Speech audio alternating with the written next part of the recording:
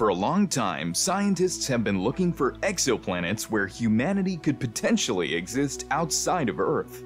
Despite the fact that we know there isn't another planet exactly like Earth where life might exist, there are hundreds of millions of those planets out there, and more are being discovered every day. Everything is beginning to change, especially now that scientists claim to have discovered exoplanets that may be more viable than Earth. But the most important thing to know is whether these planets actually exist or not. In this video, we'll figure out what those planets are and whether life is truly conceivable there. I know you have a lot of questions on your mind, so let's get this started. To begin, we must define what an exoplanet is. Any planet that orbits a star outside of our solar system is known as an exoplanet or extrasolar planet. Keep in mind that these exoplanets range in size from massive gas giants like Jupiter to small rocky worlds like Mars and Earth. The majority of planets that have been identified are found in a small region of the Milky Way galaxy. According to NASA's Kepler Space Telescope mission findings, there are more planets than stars in this galaxy.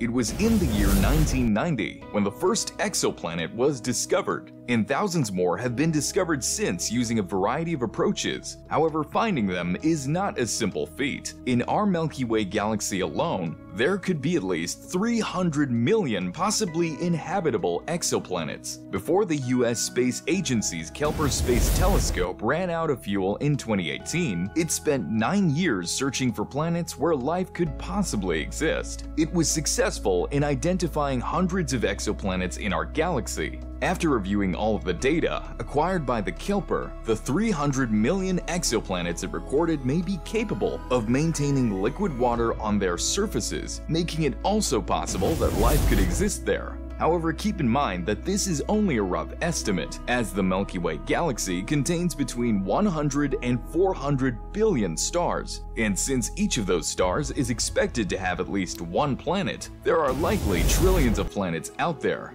You might believe that all you need to find exoplanets is a telescope, but that is not the case. In fact, seeing an exoplanet is as rare as seeing Saturn from Earth. Luckily, there is a method of identifying planets known as direct imaging, and very few exoplanets have been discovered this way. However, the transit method was utilized to discover the majority of exoplanets. The fading of a star as a planet passes in front of it is measured using this method. Exoplanets can also be discovered by monitoring the star's light spectrum. It detects signs of a planet pulling on the star, which causes the light to change, or by employing gravitational lensing.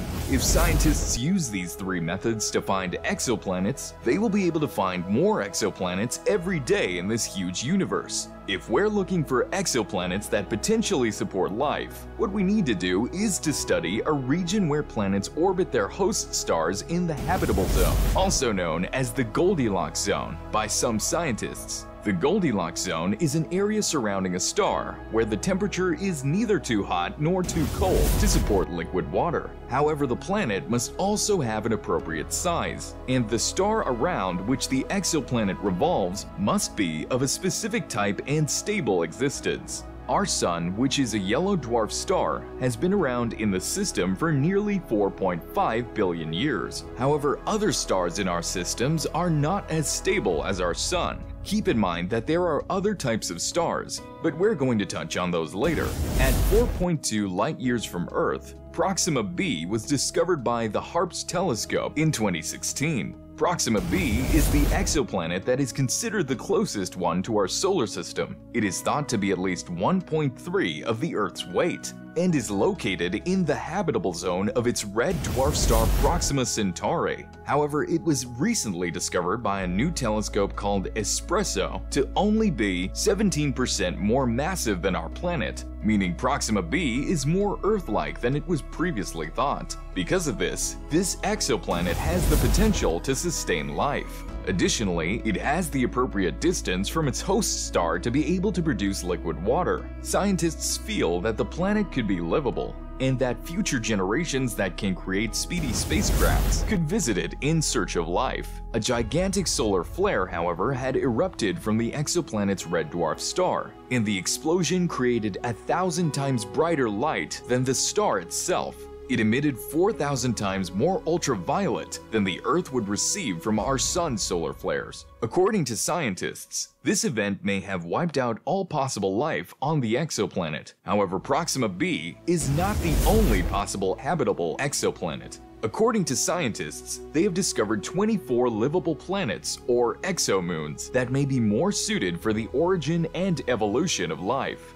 Rene Heller and John Armstrong are the two researchers who coined the term superhabitable in 2014. According to them, being in the habitable zone is not enough for an exoplanet to be livable. An exoplanet must be older, larger, warmer, wetter, have higher amounts of oxygen, and have a longer surviving star for life to exist on it. According to Heller and Armstrong, the necessary size for a super-Earth would have to be at least double the mass of the Earth itself, because it is only in this way that radioactive decay in the planet's interior would last longer for it to supply heat. The size would also help in increased gravity that would keep the atmosphere in place for a longer period of time. Scientists chose the 24 superhabitable exoplanets because they have the correct size of the star, the right lifespan, and are located in the habitable zone. Many of these exoplanets orbit around G-dwarf stars, stars that are like our Sun. However, researchers are also examining exoplanets that move around K-stars and orange dwarf stars, which are colder, less massive, and less bright.